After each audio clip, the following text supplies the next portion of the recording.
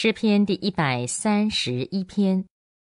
耶和华我的心不骄傲我的眼不自高重大和超过我能力的事我都不敢做。我的心平静安稳像断过奶的孩子躺在他母亲的怀中。